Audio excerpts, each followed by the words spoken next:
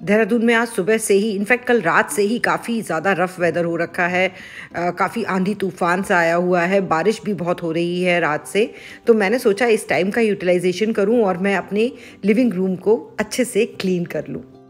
मेरा बहुत दिनों से मन था कि मैं लिविंग रूम का लेआउट थोड़ा चेंज करूँ फर्नीचर्स को मूव करूँ आर्टिफैक्ट्स यहाँ वहाँ मूव कर सकूँ, जिससे कि उसका जो लुक है वो एकदम फ्रेश और नया लगे और एक रिफ़्रेशिंग सी फीलिंग आए लिविंग रूम में।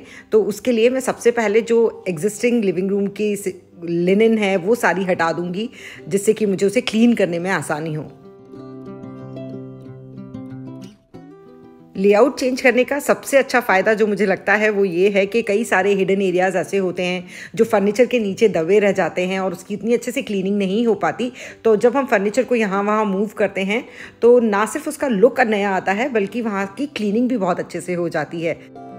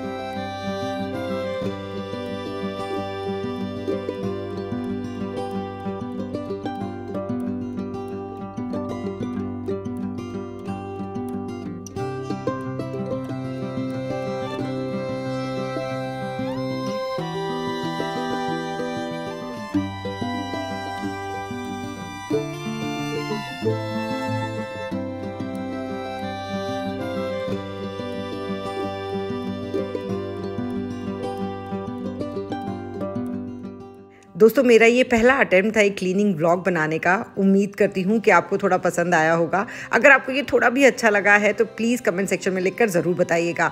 और अगर आप मेरे चैनल पर नए हैं तो प्लीज़ मेरे चैनल को ज़रूर सब्सक्राइब करें।